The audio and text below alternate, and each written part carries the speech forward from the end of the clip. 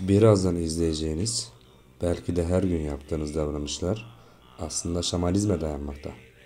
Bunu biliyor muydunuz? Peki nedir bunlar? Nazar inanışı.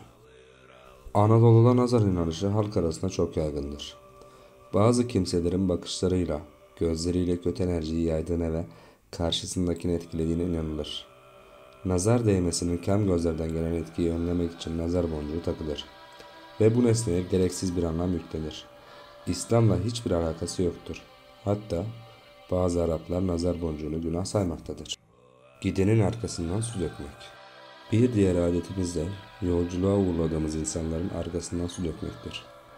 Bu hareket su gibi git, su gibi gel anlamına gelir.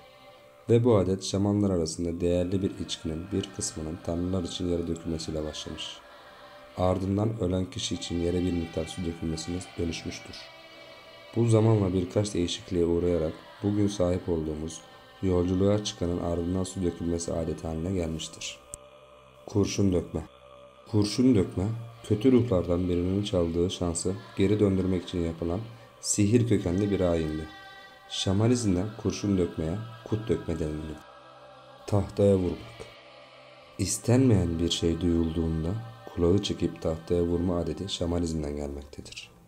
Ormanda ağaçlık alanlarda kötü ruhların yaşadığı sanıldığından bu ruhların tahtalara da sindiği varsayılırdı. İşte bu ruhları kaçırmak için tahtaya vurma alışkanlığı gelişti. Su içerken başı tutmak. Şamanizmden bize kalan su ile ilgili bir diğer gelenekse su içerken başı tutmaktır. Su içerken insanın aklının başından çıkacağına inanan şamanlar başlarını tutardı. Bu gelenek de tıpkı diğerleri gibi günümüzde yaşatılmaya devam etmektedir. Gece tırnak kesmek. Şamanizme göre insanın canı yani ruhu kemikte de kanda da bulunurdu.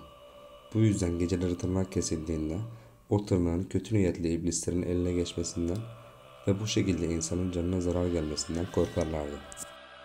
Ağaca çaput bağlayarak dilek dilemek. Dilek tutmak şamanizm kökenli bir davranıştır.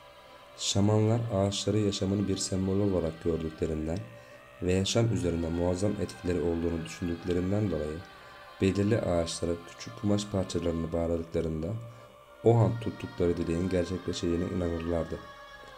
Bu inanış Türklerin İslamiyet'e geçişinden sonra tamamen terk edilmemiş ve dilek tutmak için ağaçlara, kayalara ve türbelere çabuk bağlama adeti şeklinde sürdürülmüştür.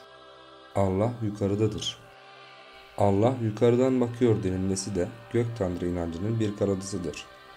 Dua ederken ellerin gökyüzüne açılması ve yukarıya bakmak da öyledir. Halbuki İslam dininde Allah her yerdedir.